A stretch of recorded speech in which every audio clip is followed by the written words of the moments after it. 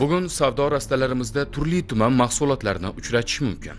Deylik meva cheva sabzavotdan tortib qandolat hamda sut mahsulotlariyu salqin ichimliklargacha bozorlarimiz fayziga fayz qo'shib turibdi. Albatta bu ko'zni quvontiradi ammo gap iste'molchining haq huquqlari salomatligi haqida ketar ekan hali hanuz bu borada uchrayotgan ayrim muammolarga ko'z yumib bo'lmaydi. Ko'rsatuvimizning navbatdagi sonini iste'molchilar huquqlarini himoya qilish jamiyatlari toshkent shahar hududiy birlashmasi bilan hamkorlikda tayyorladik. Unda asosan bir emas bir nechta mahsulotlarning sifati yaroqlilik muddati saqlanish va sotilish talab va tartiblarini o'rgandik. Bozor tomon ichkarilay boshlashimiz bilan ko'zimiz yerda. Belgilanmagan hamda gigiyena jihatdan talabga mutlaqo to'g'ri kelmaydigan joyda sut va sut mahsulotlari savdosi bilan shug'ullanayotgan sotuvchilarga duch keldik. Qiziq sotuvchi va xaridor uchun barcha sharoitlarga ega ulkan bozorda savdo qilishlariga nima to'sqinlik qilmoqda? Bu masalada bozor ma'muriyatidan izoh so'radik. Bizada sharoitlar yaratilgan e, sut pavilyonlarimiz e, sut mahsulotlari pavilyonlarimiz mavjud joylarimiz ham mavjud. Endi bular ertalab shu keladi sutini sog'adida o'zi ana yoz kunida o'zi e, oldin endi hozir bu sez anaqasida bormi yo'qmi bilmayman oldin o'ngacha mumkin deyilgandi. O'sha kunduz kuni kelib o'sha sotib anaqa qilish o'ngacha mumkin deb aytilgan endi bundoq olib qarasangiz o'zi bakrashkada bu narsa sut mahsulotini sotish mumkin emas chunki sterilizatsiya qilinmagan anaqaga javob bermaydi. Endi bular endi shu patta pulidan qochib bizni sels bilan tuman ichki ishlar bilan karantin anaqalari bilan juda ko'p tadbirlar qilganmiz. Sutlarini olib qatiqlarini olib e, qilganmiz bularda shu maqsad e, nimasi bo'ladi? U patta pulidan qochish. Yashirin iqtisodiyot yashirin iqtisodiyot keladi mana shu bolalar anaqa mani ishchilarim kelib oladi bu mahsulotini. Mahsulotni oladi u yerdan u yoqqa qochadi bu yerdan bu yoqqa qochadi shunaqa maqsad. Agar bularga qanaqadir sharoitlar qilib berilsa ularga hozirgi holatdagiga qaraganda xarajatlar ko'p bo'ladimi qiyin bo'ladimi yoki bir xil bo'ladi? U xarajatlari misol el qatori o'sha e, belgilangan e, stavkada patta puli kunlik patta puli to'laydi. A u yerda bizada yopiq pavilyon ustiga yopiq pavilyon tashkil qilingan barcha sharoitlar mavjud. Наоборот bularga yengillik bo'ladi наоборот nimasi bo'ladi? Bemalol quyoshda o'tirmasdan bir e, salqinda bemalol o'tirib savdo qila oladi hozirgi kunda mana toshkent shahar yunusobod dehqon bozorida e, o'rganishlar olib borilyapti. O'rganishlar olib borilayotgan paytida e, fuqarolarimizni o'sha sanitariya gigiyenik holatlariga javob bermaydigan tarzda e, sut mahsulotlarini savdosi bilan mashg'ul bo'lishyapti. Lekin bularga bozor ma'muriyati tomonidan yoki bozorga qaraydigan ses tomonidan umuman nazorat olib borilmaydi hozir mana shu soat ham e, o'n bir bo'lyapti уже quyosh ko'tarilgan issiq havo paytida bunaqa sut mahsulotlari maxsus yaratilgan sharoitda e, xolodilniklarda saqlanishi kerak va savdo qilish kerak. Jarayonlarni tasvirga olish vaqtida iste'molchilar huquqlarini himoya qilish toshkent shahar birlashmasi xodimlari yana bir holatga oydinlik kiritib ketishni afzal bilishdi. Ya'ni barchamiz sevib iste'mol qiladigan banan mahsuloti hozirgi yuqori darajadagi haroratda ochiq holda saqlanishi mumkin emas ekan. Har kunlik sotiladigan mahsulotga e, veterinariya laboratoriyasidan o'tkazilib bu xulosa berilishi kerak. Hozir mana tashqi tomonidan ko'rinib turibdi e, mahsulot e, nimaga yaroqsiz? Iste'molga yaroqsiz. Holatda ko'rinib turibdi buni siz veterinariya laboratoriyasidan o'tkazib o'shandagina sotishga ruxsat berish kerak. Necha haroratgacha tura oladi? Ularda normalari bor belgilangan. O'sha e, masalan yigirma besh gradus bo'ladigan bo'lsa yigirma besh gradus ortiq temperaturada saqlanish mumkin emas. O'sha veterinariya xulosasi bo'yicha har bitta mahsulotni o'zini saqlanish e, temperaturalari bor. Kartoshka mahsuloti sabzi mahsulot poliz mahsulotlarimi o'sha normalardan oshib ketadigan bo'lsa issiqlik mahsulot iste'molga yaroqsiz hisoblanadi saqlanish jarayonida ayni kunning jaziramasida har bir oziq ovqat mahsulotini saqlashning o'z me'yoriy talablari ishlab chiqilgan. Masalan go'sht va kolbasa mahsulotlari qanday saqlanishi kerak? Bilganimiz shuki albatta maxsus muzlatgichda belgilangan haroratda saqlanadi.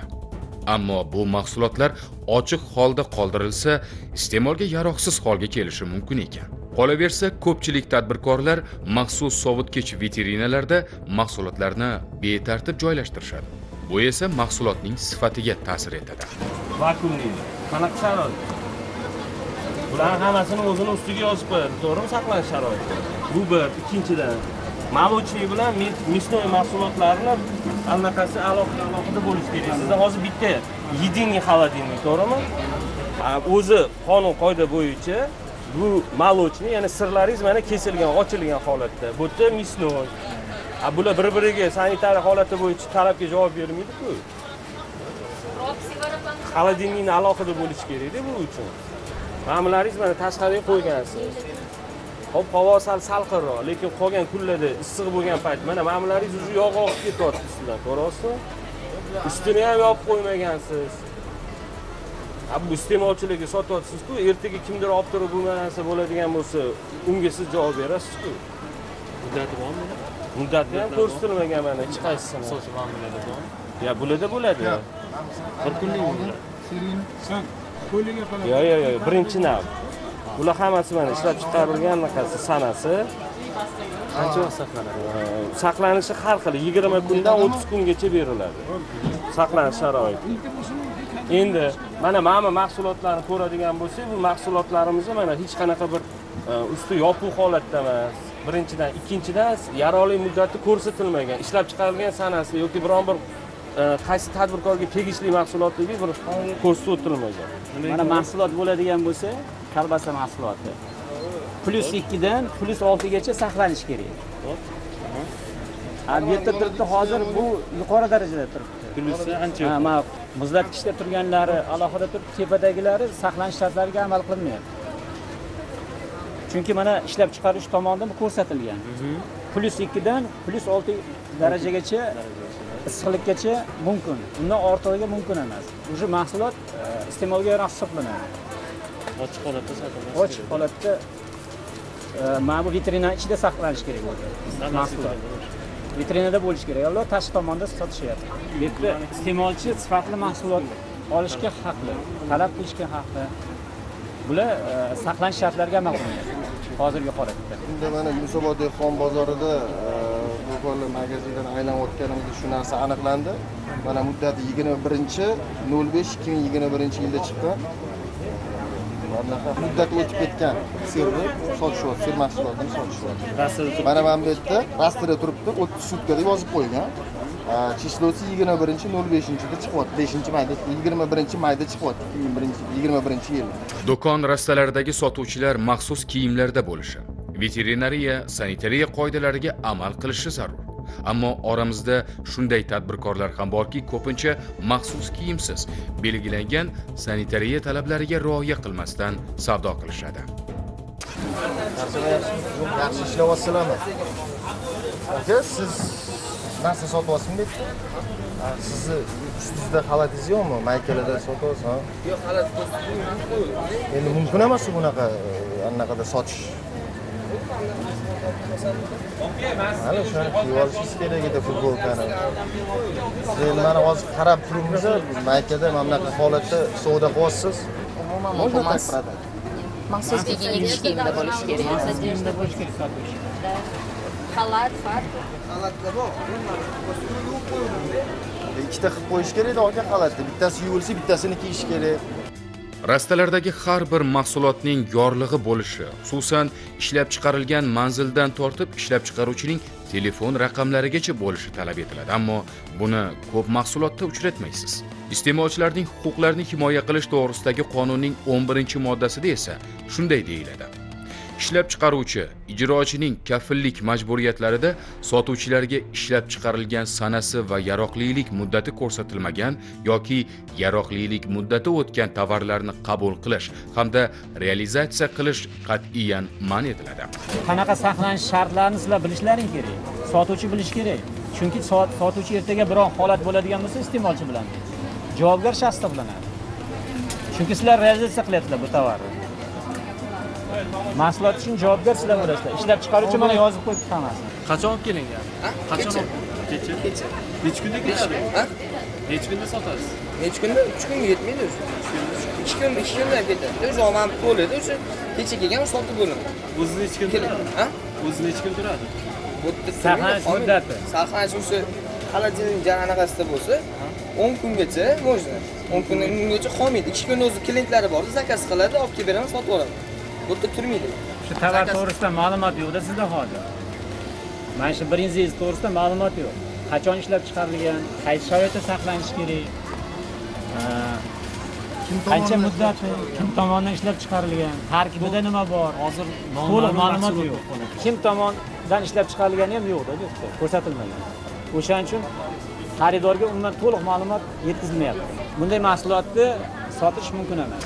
Yaroqlilik muddati o'tgan sifatsiz oziq ovqat mahsulotlarining inson salomatligi uchun salbiy ta'siri borligiga ko'pchilik yurtdoshlarimiz e'tibor qaratishmaydi. Ushbu mahsulotlar organizmda tuberkulyoz brutsilyoz salmonellyoz va bir qator oshqozon ichak kasalliklarini keltirib chiqaradi. Turli kolbasa mahsulotlarining qanday sharoitda va kim tomonidan tayyorlangani mahsulotni tayyorlaydigan insonning tibbiy ko'rikdan o'tgan o'tmagani noma'lum bo'ladi. Qolaversa ko'pchilik sotuvchilar doim amal qilmaydigan holat sut va go'sht mahsulotlarining bir vitrinada saqlanishidir. Nega aka bu sir bilan kolbasa mahsulotlari bittada mana bu ana nima u nami yopiq baribir bular oka bilasiz мясной alohida молочный alohida bu vitrinada hozir mana bitta mamalaringiz kesilgan hozir olasiz kesasiz baribir o'rtani yopamiz shunaqa Ey, o'zi misol отдельный отдельный bo'ladi bu sanitariya talabiga umuman javob bermaydi sotayotganingiz bu narsalarga qarab qo'ying keyin imkon qadar tsennikli bo'lishi kerak mahsulotda hozir hech qanaqa tsennikingiz yo'q. Man hozir qayerdan bilaman? Misol uchun qazingizni misol uchun shundan arzonroq qilib bera oling. Siz baribir klientlar uchun yozishingiz kerak. Sababi klient sizni oldingizga kelganda mijoz so'raydi. Mana mahsuloting mana buncha ekan qancha qilib berasan? Bu bozor. Siz bilan savdolasha oladi. Lekin savdolashguncha u o'zi uchun informatsiya olishi kerak. Что mana mana mahsulot mana bunchadan sotilyapti kommersiy do'konlar kelsa anaqa tarzim kerak. Siz cena turadi ular tushmaydi tushib beramiz. O'shanga yetolmas siz определенный bitta narx qo'ying. Bu narx bo'lmasa qanaqa qilib bu savdo qilishingiz mumkin? Xohlagan summangizni aytayotgan bo'lishingiz mumkin. Yo'q man aytmoqchi bo'lganimda misol uchun yuz ming so'm kilosini yozib qo'ysangiz to'qson ming so'mga qilib berasiz. U уже o'zingizni klient bilan bo'layotgan muomalangizga qarab. Keyin safar qilib qo'yamiz maxsus kiyimlari ham и maxsus kiyim bo'lishi kerak bo'ldi yo'q yo'q bo'ldi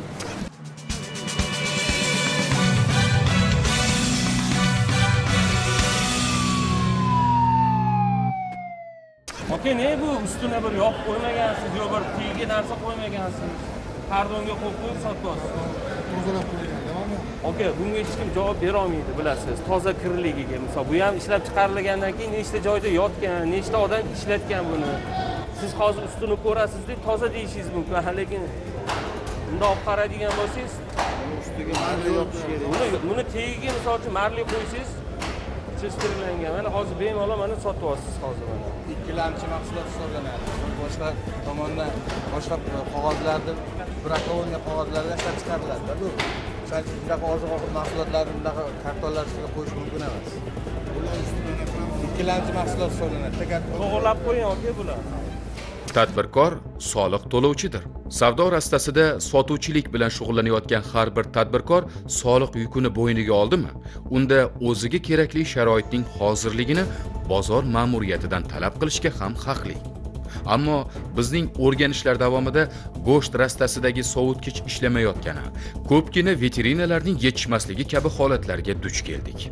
Bu tadbirkorlarga nisbatan adolatsizlik bo'lmaydimi? Bizni tadbirkorlarga kirib talab qo'yib olmazada mahsulotni bunaqa sotishing kerak lekin ob havoni hisobiga olib turib baribir rahbariyat tomonidan otabek aka man hozir tushuntirayotganim kondisionerda hozir mana tadbirkorlardan ham talab tushyapti chunki biza bularni hozir kamchiligini misol uchun o'sha tanqid qilib o'ziga tushuntiryapmizu bular endi hozir bu taraflama o'tyapti sizlar tomonidan yaratiladigan sharoit. Aka qarang bizada e, bozorda to'rt yuz o'ttiztalik tepa edi.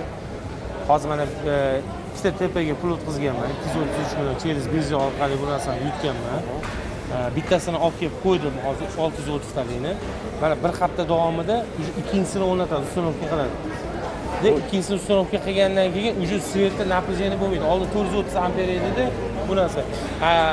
Mana bu konsertlarni yoqsak напряжение bo'lib turib anaqa u напряжение hozir hozir mana hozir bir hafta uzoq hozir bir haftadan keyin уже olti yuz ikkinchi olti yuz o'ttiztalik anaqalik transformator o'rnatilgandan keyin уже svetdan muammo bo'lmaydi shuni bir imkon qadar o'zinglarni anaqanglarda uni- nazoratga olib bu qo'ysanglar narsani biz o'zimiz qo'ldan qilganmiz mana tadbirkorlardan ham eshitdingmi mana misol uchun shu bo'yicha chunki biza hozir talab qo'yyapmiz misol uchun e, pravkani ustida sotayotgan go'sht mahsulotingni mana bunaqa emas bunaqa sotishing kerak lekin ob havoni hisobga oladigan bo'lsangiz tashqarida e, vakuum ya'ni ichki holatda bo'lgani uchun baribir bu konditsioner anaqa bir hafta davomida уже bular hammasi to'liq ulanadi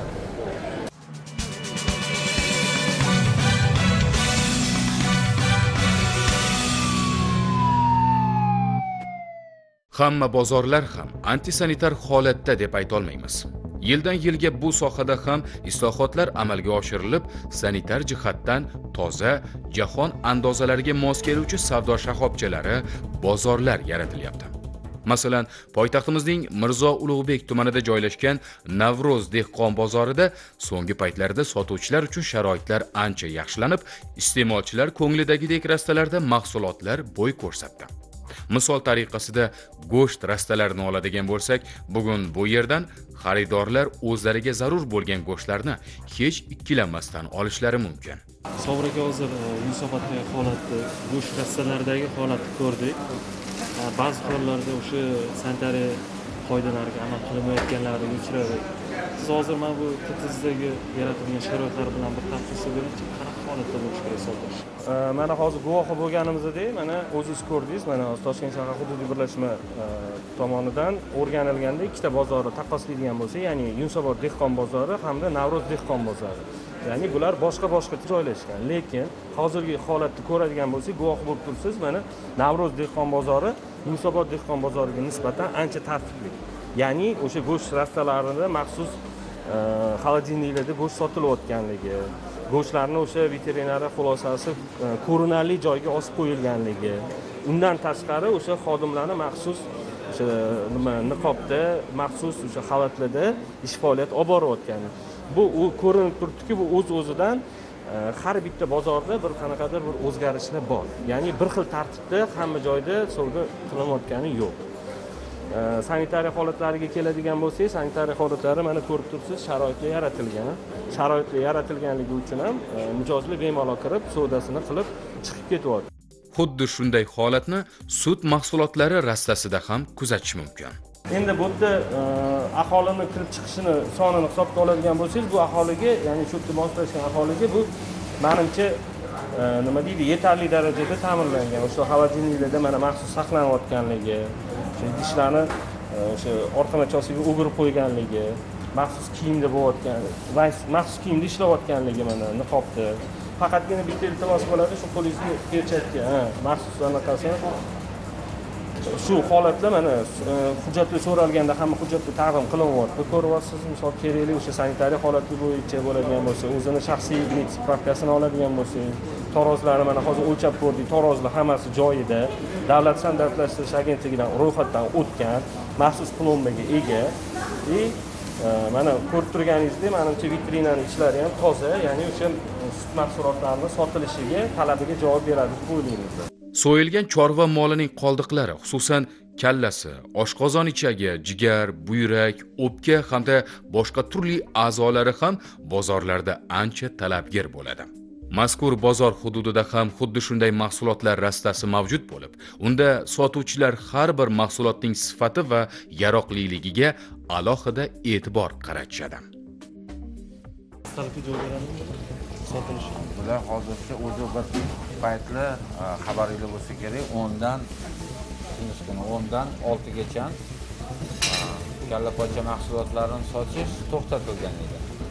E, bu yerda endi hozir bizani shirin navro'z dehqon bozorimizda alohida pavilyon bo'lganligi uchun har bitta xodim sotuvchi muzlatgichlar bilan to'liq ta'minlanganligi uchun hozircha ruxsat berilgan. Ventilyatsiyalar qo'yilgan hammasi shuning uchun hozircha ruxsat berilgan. Har bitta sotuvchiga alohida alohida ertalab kelib laboratoriya tahlili olinadi. Mahsulotlar kirib kelgan zahoti savdoga qo'yilishdan oldin bir har bitta mahsulotdan laboratoriya tahlili olib laboratoriya tahlili natijasi chiqqandan keyin har biriga familiyasi bilan yozib qo'liga topshirib beriladi.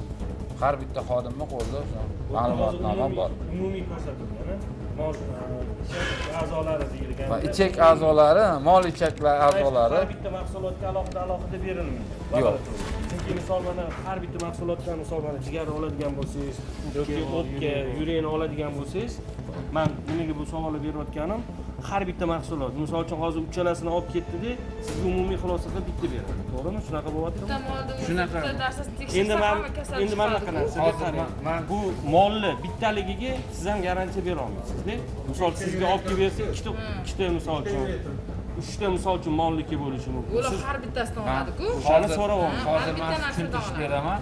Olingan olingan mahsulotni laboratoriya bularga mana familiyaligiga yozib beriladi mol ichaklari deb yoziladi. Lekin olingan mahsulotlar laboratoriyada alohida nomma nom yozib kirgiztiriladi o'shanga asosan beriladi.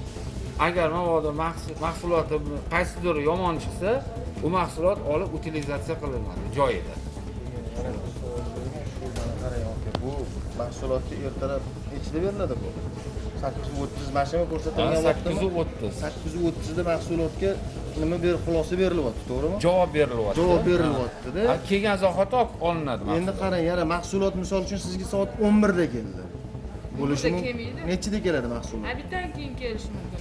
Ha, obeddan keyin obeddan keyingi kelgan mahsulotga ertasi kuni ertalab xulosa beradi tekshirib shunaqa bo'lib chiqyaptimi hozir? To'g'ri tushundimmi Obeddan keyin desa obeddan keyin beriladi har bitta kelgan mahsulotlar yo yo siz tushunmadingiz savollarni.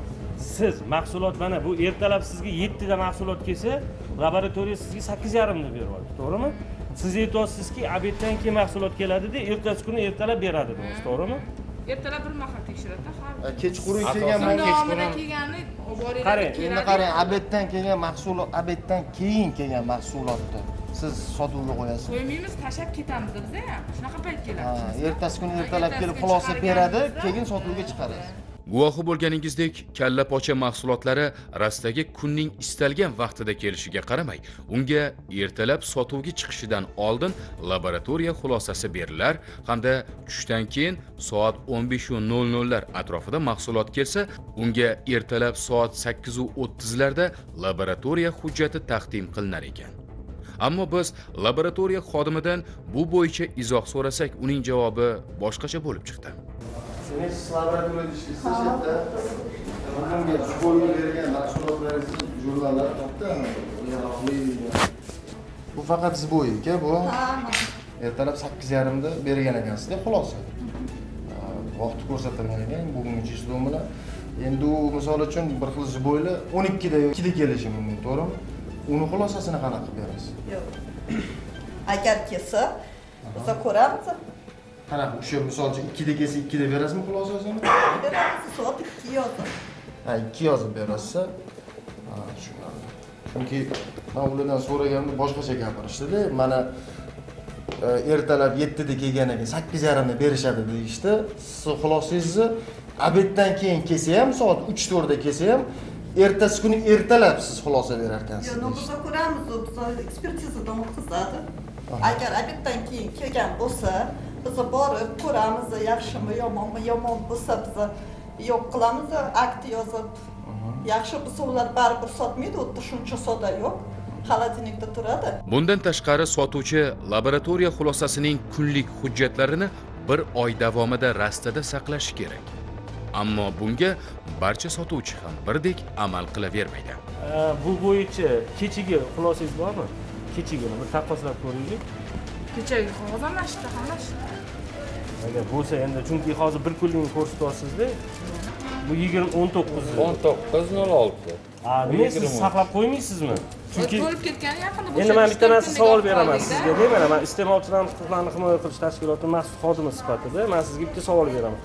Mahsulotingizni bugun olib ketdida ikki kundan keyin sizga shikoyat bilan kelyapti. Sani mahsulotingdan man отравление bo'ldim yoki biron bir kasal bo'lib qoldim deyaptida doktorni xulosasi bilan kelyapti to'g'rimi? Ya'ni o'sha mol go'shtini icheklari ya'ni mol molni icheklaridan qilingan mahsulotdan отравление endi siz o'zingizni oqlashingiz uchun yoki o'zingizni bir to'g'ri faoliyat yuritganingiz uchun ha bu xulosalarni qolganlari ham o'zingizni yig'ib borish kerakku. Bu yerda hozir mana man savol berganim uchungizni nimaga berayotganim? Bu mani yoki biron bir anaqani emas bu o'zingizni e, nima deydi himoyangiz uchun to'g'ri Shu mana- to'lib ketgani uchun Ya, endi u bo'shatdik. ketgan, uni olib qo'yish kerak. javob bering endi shunaqa bo'lsa agar manda bu nechta jurnalga yozilib keladiku o'zimiz anaqa qilishim himoya qilishim uchun man ham ularga обращаться qilamanda tekshirgan laboratoriyaga boraman xalqimizda guruch kurmaksiz bo'lmaydi degan maqol bejizga aytilmaydi bozor hududida savdo ishlari bilan mashg'ul qo'shtirnoq ichidagi uddaburon tadbirkorlar ham yo'q emas ularning belgilangan tartib tamoyilga amal qilmasdan qonun doirasida ish ko'rmasligi iste'molchilar huquqlarining buzilishiga olib kelayotganligiga bot bot guvoh bo'lmoqdamiz. Biz sizga yuqoridagi holatlarni bor bo'ybasti bilan ko'rsatdik. Xulosa esa o'zingizda.